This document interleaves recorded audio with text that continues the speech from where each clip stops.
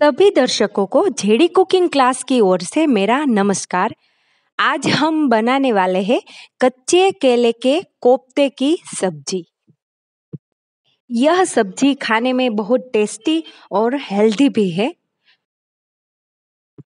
तो चलिए बनाना शुरू करते हैं कच्चे केले के कोफ्ते की सब्ज़ी।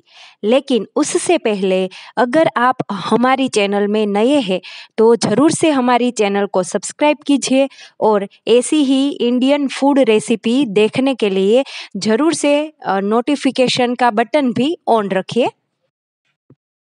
तो सबसे पहले कच्चे केले के कोफ्ते बनाने के लिए एक किलोग्राम कच्चे केले मैंने लिए हैं। इसको अच्छे से धोकर प्रेशर कुकर में दो विसल आने तक उबाल लेने हैं।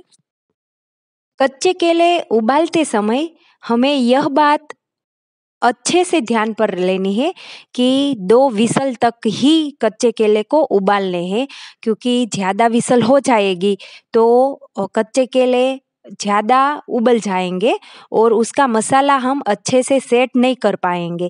इसलिए दो विसल तक ही कच्चे केले को उबालना है। दो विसल हो गई है। चलिए अब देखते हैं। वाह, क्या बात है। केले अच्छी तरह से उबल गए हैं। अब उसको प्रेशर कुकर में से बाहर निकाल लेंगे। रूम टेम्परेचर तक ठंडा होने देंगे। फिर उसके छिलके निकाल लेंगे।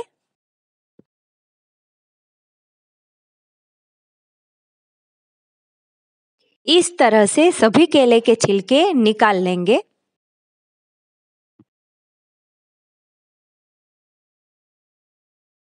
सभी केले के छिलके निकाल लिए हैं। अब पाव भाजी प्रेशर के मदद से सभी केले को अच्छे से मैश कर लेंगे। तो दोस्तों, आप यहाँ पर देख सकते हैं कि केले चिपचिपे नहीं हुए हैं। दो विसल तक उबालने से अच्छे से उबल गए हैं। अब हम यहाँ पर मसाले ऐड करेंगे।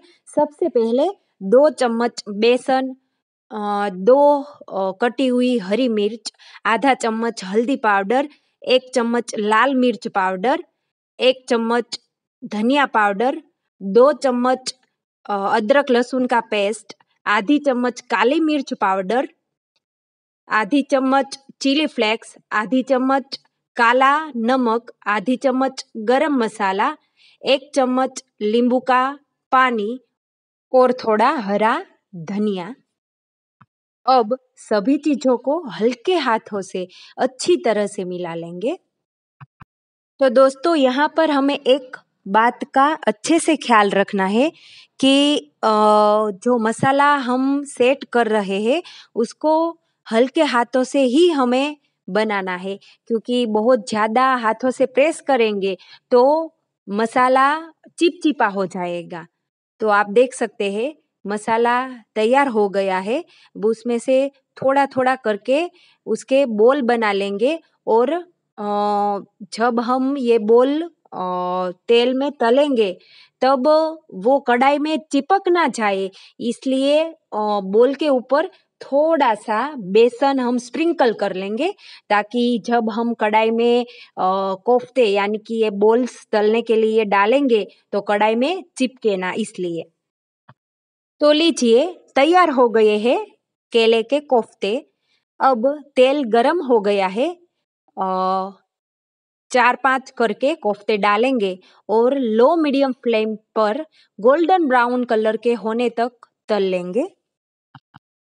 इसी तरह से सभी कोफ्ते को तल कर तैयार कर लेंगे। फ्लेम का खास ध्यान रखना है। लो मीडियम फ्लेम पर ही कोफ्ते तलने हैं। कोफ्ते तलकर तैयार हो गए हैं। अब कोफ्ते को जब हम ग्रेवी में डालेंगे तो उसका जो स्वाद है वो कोफ्ते के अंदर तक पहुँचे, इसलिए काटा चम्मच की मदद से इस तरह से हम इसमें होल बना लेंगे। तो अब आगे बढ़ते हैं ग्रेवी बनाने की ओर। सबसे पहले कढ़ाई में तेल गरम करके एक चम्मच जीरा डालें। बाद में एक इंच तज का टुकड़ा, पाँच लौंग, दो इलायची, पाँच से सात काली मिर्च, दो सूखी लाल मिर्च, एक एक चौथाई चम्मच हींग डाले। पाँच लहसुन की कली डाले। एक इंच अदरक का टुकड़ा कटा हुआ। बाद में दो हरी मिर्च कटी हुई। अब डाल लेंगे चार नंग कटी हुई प्याज और साथ ही में डाल लेंगे एक चौथाई चम्मच हल्दी पाउडर और आधा चम्मच नमक। अब सभी चीज़ों को अच्छे से मिलाकर कढ़ाई को ढक लेंगे और पाँच से सात मिनट तक मीडियम फ्लेम पर प्याज को भून लेंगे, जब तक कि प्याज गोल्डन ब्राउन कलर के न हो जाए।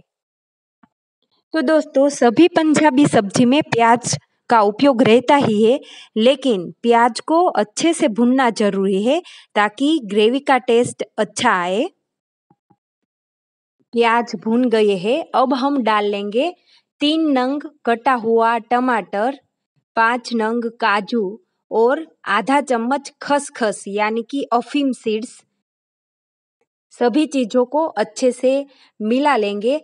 फिर से कढ़ाई को ढककर पाँच मिनट तक मीडियम फ्लेम पर भून लेंगे। तो लीजिए, तैयार हो गया है ग्रेवी का मसाला। गैस को कर लेते हैं बंद और मसाले को रूम टेम्परेचर तक ठंडा होने देंगे। बाद में मिक्सचर जार में निकाल लेंगे और थोड़ा सा पानी मिलाकर इसको ग्राइंड कर लेंगे। तो दोस्तों, जितनी ही अच्छे से आप पंजाबी सब्ज़ी की ग्रेवी तैयार करेंगे, उतनी ही अच्छे से सब्ज़ी का टेस्ट भी आएगा और सब्ज़ी खाने का मज़ा भी आएगा। तो लीजिए, तैयार हो गई है ग्रेवी, अब आगे बढ़ते हैं सब्ज़ी बनाने की ओर। वाह, क्या बात है! ग्रेवी में से ही इतनी खुशबू आ रही है कि ग्रेवी को ही रोटी के साथ खा जाने का मन कर रहा है। लेकिन खैर, कोफ्ते तैयार है तो सब्ज़ी भी बना लेते हैं। तो कढ़ाई में लिया है पाँच चम्मच तेल, गरम करेंगे। इसके अंदर सबसे पहले डालेंगे एक तेजपत्ता और आधी चम्मच हींग और उसके बाद डालेंगे जो ग्रेवी हमने तैयार की है। अब इसी के साथ डाल लेते हैं एक चौथाई चम्मच हल्दी पाउडर, आधा चम्मच नमक, एक चम्मच धनिया पाउडर, एक चम्मच लाल मिर्च पाउडर, एक चम्मच काश्मीरी लाल मिर्च पाउडर और आधा चम्मच चीनी।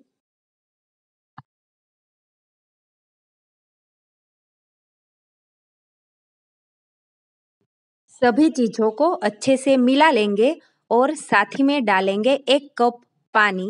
फिर से सभी चीज़ों को अच्छे से मिला लेंगे और कढ़ाई को ढक कर पाँच से सात मिनट तक धीमी आँच पर ग्रेवी को पकने देंगे।